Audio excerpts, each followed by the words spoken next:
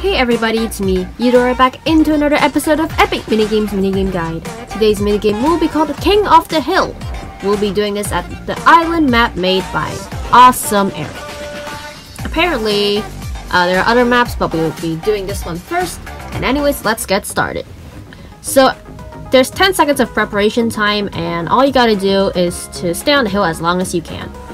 You will be given a ban hammer, or literally just a, a giant hammer, and you can hit people with it to make them fall off. And one second counts as a point and most points wins so if you stay on the hill for 38 seconds you get 38 points.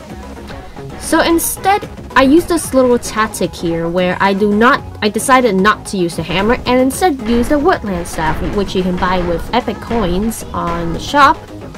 It's a gear where you can make it make yourself invisible but I just genuinely decided to not fight with anyone but instead try to hide in the corners so people won't be able to find me or at least pay less attention to me.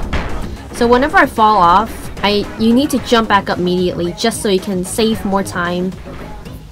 You also need some seconds for jumping back up if you fall down, so you can try staying behind these poles or these pillars and try to have the other people fight for themselves. I wouldn't really use the hammer.